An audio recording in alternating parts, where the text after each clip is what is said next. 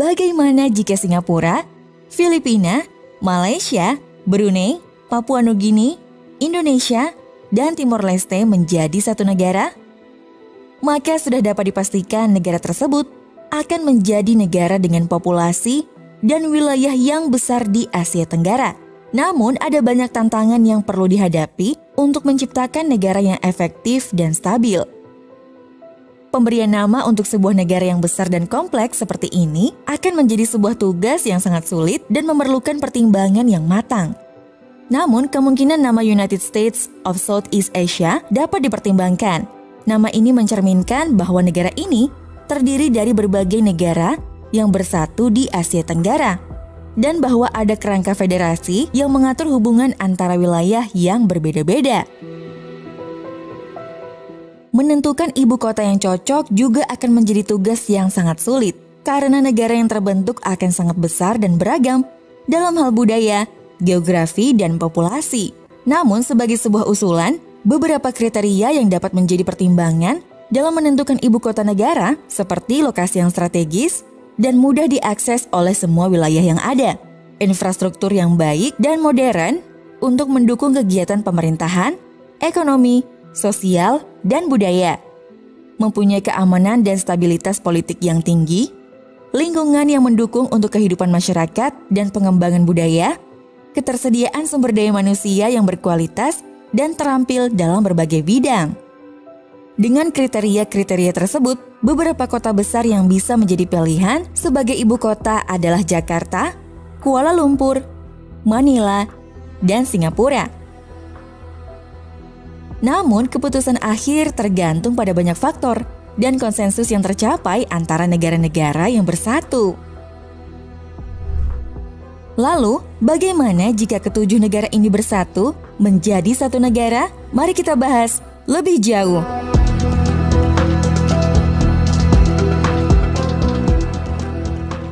Pertama-tama, kita lihat wilayah dan populasinya terlebih dahulu.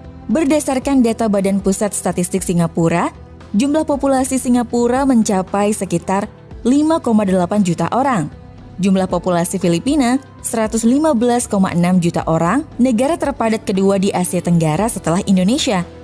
Jumlah populasi Malaysia mencapai sekitar 33,57 juta, populasi Brunei mencapai sekitar 442 ribu orang, jumlah populasi Papua Nugini mencapai sekitar 8,94 juta jiwa.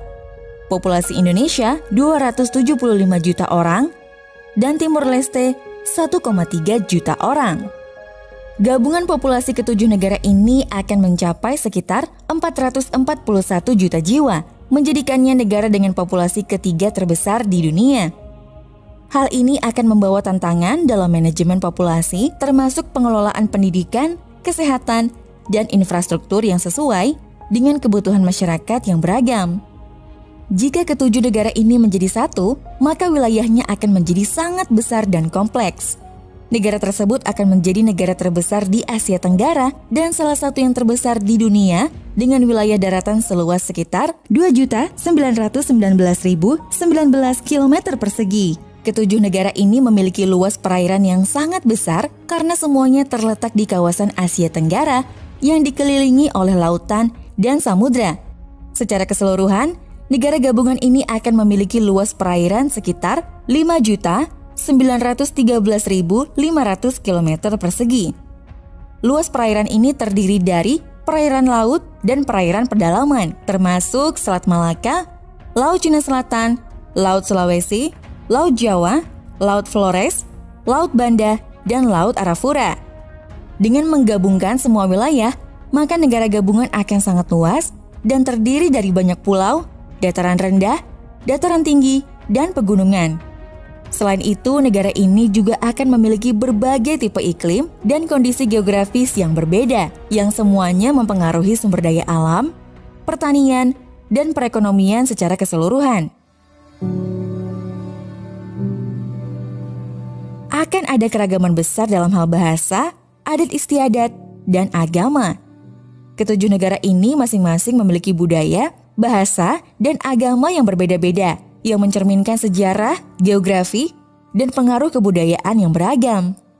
bahasa merupakan salah satu aspek yang paling terlihat dari keberagaman budaya di antara negara-negara tersebut. Bahasa resmi yang digunakan di setiap negara berbeda-beda. Misalnya bahasa Inggris dan bahasa Melayu di Singapura, bahasa Tagalog di Filipina, bahasa Malay di Malaysia dan Brunei, bahasa Inggris dan bahasa Tokpisin di Papua Nugini, bahasa Indonesia di Indonesia, dan bahasa Tetum di Timur Leste. Namun bahasa-bahasa ini juga sedikit memiliki kesamaan dan persamaan, terutama dalam hal struktur gramatikal dan kosakata.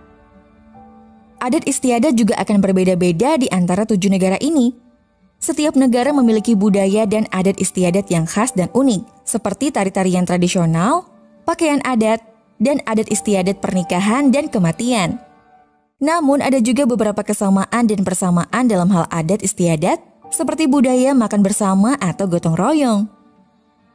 Ketujuh negara ini memiliki mayoritas agama yang berbeda-beda, seperti Islam, Kristen, Hindu, Buddha, dan animisme. Namun ada juga beberapa kesamaan dan persamaan dalam hal agama, seperti pengaruh Hindu dan Buddha dalam sejarah dan kebudayaan di kawasan Asia Tenggara, serta adanya agama-agama minoritas seperti agama Konghucu dan Taoisme. Dalam hal agama juga perlu diingat bahwa sifatnya yang sangat personal dan sensitif. Maka, penting untuk memastikan bahwa semua agama diakui dan dihormati secara adil dan proporsional, sehingga tidak terjadi diskriminasi dan kecenderungan untuk mendominasi agama tertentu. Dalam hal ini menjadi penting untuk mengatasi potensi konflik agama di negara gabungan ini. Dalam konteks negara gabungan, akan menjadi penting untuk memperhatikan keberagaman budaya yang ada dan memastikan bahwa hak-hak dan kepentingan masyarakat yang berbeda-beda dihormati dan diakui secara adil. Akan ada perubahan besar dalam sistem pemerintahan yang ada di masing-masing negara tersebut. Negara gabungan ini harus menciptakan sistem pemerintahan yang dapat menyeimbangkan kepentingan dan kebutuhan masyarakat yang berbeda-beda di seluruh wilayahnya. Pertama-tama, negara gabungan ini akan perlu memutuskan apakah akan menggunakan sistem pemerintahan federal atau sentralistik.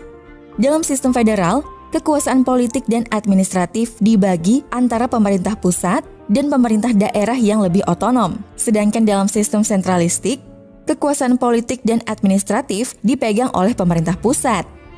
Sistem federal dapat lebih cocok untuk negara gabungan yang memiliki keragaman budaya dan bahasa karena memberikan otonomi yang lebih besar untuk wilayah yang memiliki karakteristik unik, namun juga dapat menimbulkan kesulitan dalam koordinasi dan pengambilan keputusan nasional. Sedangkan sistem sentralistik dapat lebih efektif untuk negara gabungan yang memiliki tantangan besar dalam koordinasi dan pengambilan keputusan nasional, namun juga dapat membatasi partisipasi dan representasi masyarakat daerah dalam pengambilan keputusan. Negara gabungan ini juga perlu menentukan sistem politik yang cocok, seperti demokrasi, monarki, atau republik. Gabungan tujuh negara akan membentuk pasar tunggal yang besar dengan potensi untuk meningkatkan pertumbuhan ekonomi. Namun, perlu dicatat bahwa masing-masing negara memiliki kondisi ekonomi yang berbeda dan tantangan yang berbeda, sehingga integrasi ekonomi menjadi salah satu hal yang perlu dipertimbangkan. Negara gabungan ini perlu memperkuat kerjasama ekonomi antar wilayah. Dengan memperkuat kerjasama ekonomi, negara gabungan ini dapat memaksimalkan potensi sumber daya alam dan industri yang ada di setiap wilayah, serta memperkuat daya saing nasional dalam pasar global. Negara gabungan ini juga perlu mengembangkan industri yang berbasis pada teknologi dan inovasi. Dengan mengembangkan industri yang berbasis pada teknologi dan inovasi, Negara gabungan ini dapat menciptakan lapangan kerja yang berkualitas, meningkatkan kualitas hidup masyarakat, dan memperkuat daya saing nasional dalam pasar global. Sudah dapat dipastikan, sektor pariwisata sebagai salah satu sumber pendapatan penting. Negara gabungan ini memiliki banyak destinasi wisata yang menarik, seperti Pulau Bali di Indonesia, Boracay di Filipina, dan Singapura sebagai pusat keuangan dan bisnis di Asia Tenggara. Dengan memperkuat sektor pariwisata, negara gabungan ini dapat memperoleh devisa dari wisatawan asing dan menciptakan lapangan kerja di sektor pariwisata. Sektor pertanian dan perikanan juga perlu diperhatikan untuk memenuhi kebutuhan pangan nasional.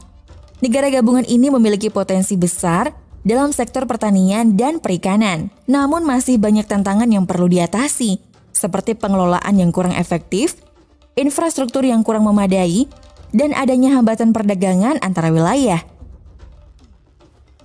Dengan memperkuat sektor pertanian dan perikanan, negara gabungan ini dapat memenuhi kebutuhan pangan nasional, menciptakan lapangan kerja di sektor pertanian dan perikanan, serta memperkuat daya saing produk pertanian dan perikanan nasional di pasar global.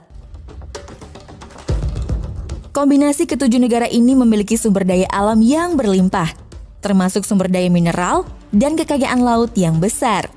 Pengelolaan sumber daya menjadi hal penting dalam membangun negara baru.